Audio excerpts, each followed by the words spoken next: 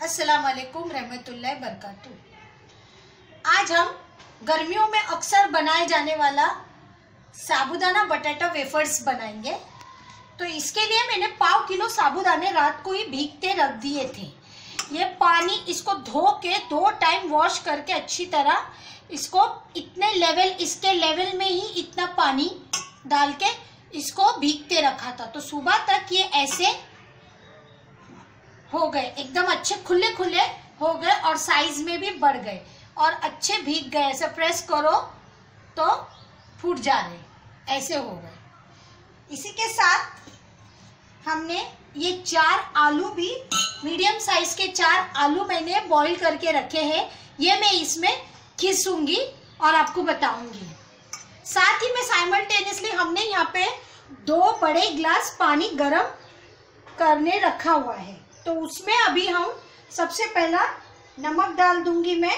As per your test नमक हम अपने टेस्ट के हिसाब से डालेंगे। और उसी के साथ इसमें हम थोड़ा सा एक चम्मच जितना जीरा भी मैं डाल दूँगी। और ये तीन तीखी हरी मिर्च है, इसको आप पीस के भी डाल सकते हो, लेकिन हम इसके ऐसे मीडियम साइज़ के बीच में से स्लिट करके टुकड़े बना के बीच में से ऐसे स्लिट करेंगे और इसको दो तीन पीस में कट करके इसमें डालेंगे। ये इस तरीके से। और इसे मिक्स कर लेंगे और बॉईल होने के बाद हम साबुदाना इसमें ऐड करके इसको पकाएँगे। अभी आपको बॉईल होने के बाद बताते हैं नेक्स्ट ये पानी अच्छा पक रहा है। जीरा, नमक और हरी मिर्च हमने काट के डाले हैं। बाद में हम इसको हरी मिर्च को निकाल देंगे। अगर पीस के डालना है तो आप पीस के भी डाल सकते हैं, लेकिन हम इसको पका के हरी मिर्च इसमें से निकाल देंगे। फ़िलहाल ये अभी बॉईल हो रहा है, पानी अच्छा गर्म हो चुका है तो हम ये साबुदाना इसमें डाल देंगे। और इसे अच्छी तरह पकाएँगे, लेकिन कंटिन्यूस इसको हिलाते रहेंगे हम, वरना ये नीचे चिपक जाएगा। इसको तब तक पकाना है जब तक ये थिक ना हो जाए, घट ना हो जाए, तब तक इसे पकाना है। घट होने के बाद ये पूरा कांच की तरह ट्रांसपेरेंट हो जाएगा। जब ये ट्रांसपेरेंट हो जाएगा तो इसका मतलब ये हमारा पक चुका है। तो इसे हम पाँच मिनट इसी तरह पका के हिलाते हुए, चलाते हुए पकाएँगे। फिर आपको नेक्स्ट बताते हैं। ये सात मिनट तक हमने इसको कंटिन्यूस चलाया है, पानी और दो ग्लास पानी डाल के इसे पकाया है। ये देखो, ये इतना थिक हो गया और सारे साबुदाने के दाने जो है, वो ट्रांसपेरेंट हो गए। ये देखो, ये ऐसा खड़ा हो जाएगा। ये इसकी पहचान है कि हमारा ये साबुदाना बरोबर है। जब ये स्पैटुला ऐसा खड़ा हो जाए, इसका मतलब ये परफेक्ट हो गया है। अब हम गैस का बटन ऑफ़ कर देंगे। इसमें से हरी मिर्च जितने भी है, वो हम निकाल लेंगे और आलू इसमें मिक्स करके आपको बताएँगे। अब ये आलू को भी हमने मैश कर दिया है और इसमें अच्छी तरह मिक्स कर लेंगे। मिक्स करके इसे ठंडा होने देंगे। इसको मिला लेंगे अच्छी तरह और इसको ठंडा होने देते हैं। पूरा एक जान करके मिला लेंगे। और फिर साँचे में इस तरीके के साँचे में डाल के हम इसमें ये वाली स्टार नोजल वाली प्लेट लगाकर इस साचे में डाल के, इस तरीके से डाल के हम इसके वेफर्स बनाएँगे, प्लास्टिक बिछाकर इसे सुखाएँगे। वेफर्स बनाएँगे, प्लास्टिक पे डालेंगे और इसे सुखाएँगे। तो अभी हम पहले इसको अच्छी तरह और मिक्स कर लेते हैं, फिर आपको नेक्स्ट बताते हैं। इसको अभी हमने ये साँचे को अंदर से, बाहर से अच्छी तरह तेल लगा दिया है। इसको भी तेल लगा दिया है और ये वाली जाली, स्टार वाली जाली को भी तेल लगा दिया है। अभी हम इसमें डाल के, भर के आपको बताते हैं। साबुदाना वेफर्स बनाना बताते हैं। ये हमने स्पैटुला से अंदर अच्छा दबा दबा के इसको अभी भर दिया है। अब हम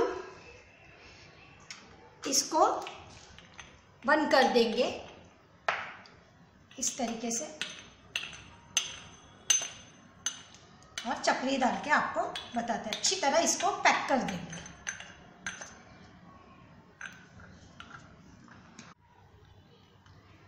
ये अभी हम इसको इस तरीके से लंबे लंबे शेप में ये वेफर्स डालना शुरू करेंगे।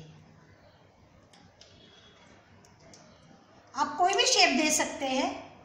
हम ये शेप दे रहे हैं। आप राउंड बनाओगे तो चक्री हो जाएगी। साबुदाना चक्री।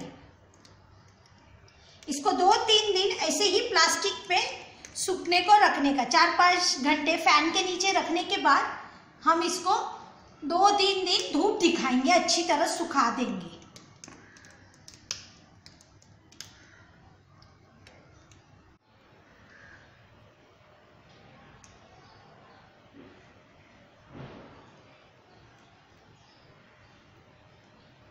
ये हमने थोड़े राउंड, थोड़े से राउंड और थोड़े से सीधे सीधे भी डाल दिए हैं। तो आपको जैसा भी शेप चाहिए, आप वो शेप से इसे बना सकते हैं। ये हमने अभी सांचे से लंबे लंबे ऐसे शेप्स डाले हैं। आप कोई भी शेप डाल सकते हो। हमने थोड़े लंबे, थोड़े छोटे डाले हैं और कुछ राउंड भी बनाए हैं और इसे प्लास्टिक पे डाल दिया है। अब हम इसको चार से पाँच घंटा फ़ैन के नीचे रखेंगे, इसको सुखाएँगे और दो दिन धूप में रखेंगे। फिर आपको बताएँगे कि सूखने के बाद कैसे बनते हैं। इसमें से कुछ हम मेरी बेटी ने भी डाले हैं। ये ये जो ऊपर वाली लाइन है ये मेरी बेटी ने थोड़ा सा डाला है और ये हमने छोटे छोटे, बड़े, लंबे साइज़ शेप के, आप कोई भी शेप दे सकते हो। अगर आप राउंड डालोगे तो चक्री हो जाएगी, लंबे डालोगे तो वेफर्स हो जाएँगे। तो हम इसको अभी दो दिन सुखाएँगे, चार से पाँच घंटे फ़ैन के नीचे रखने के बाद और दो दिन के बाद, सूखने के बाद आपको नेक्स्ट बताते हैं। ये दो दिन हमने सुखाया धूप में और ये देखिए, ये ऐसे लंबे लंबे इसके ये ऐसे वेफर्स बने हैं। तो आप इसको तोड़ के इसके छोटे छोटे टुकड़े भी कर सकते हैं और फ्राई कर सकते हैं।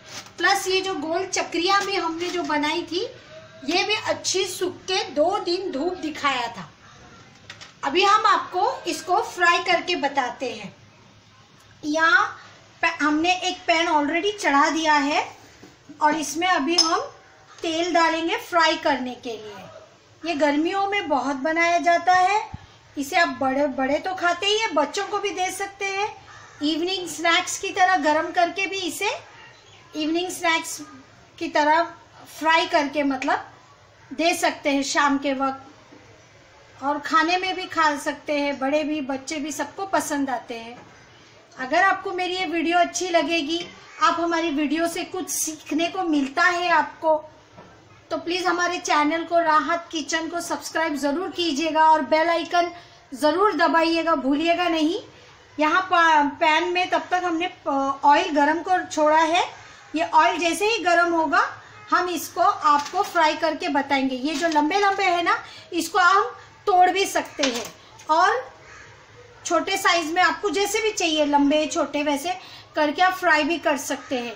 ये एक साल तक भी रहेंगे। आप इसे एयर टाइट कंटेनर में बंद करके अच्छे से रखेंगे तो एक साल तक ये अच्छे रहेंगे। आप एक साल तक यूज़ भी कर सकते हैं इसको। इसके लिए हम धूप दिखाते मेन रीज़न यही है। यहाँ तेल गरम हो रहा है। जैसे ही गरम होगा, तेल अभी तो फ्लेम हाई पर है। हम बाद में फ्लेम मीडियम कर देंगे। हाई फ्लेम पे नहीं तलना है मीडियम फ्लेम पे ही तलना है। फिर आपको बताते हैं नेक्स्ट ये ऑयल अभी हमारा अच्छी तरह गर्म हो गया है तो हम अभी इसके छोटे टुकड़े करके डालेंगे। फ्लेम बिल्कुल मीडियम पे रखा है।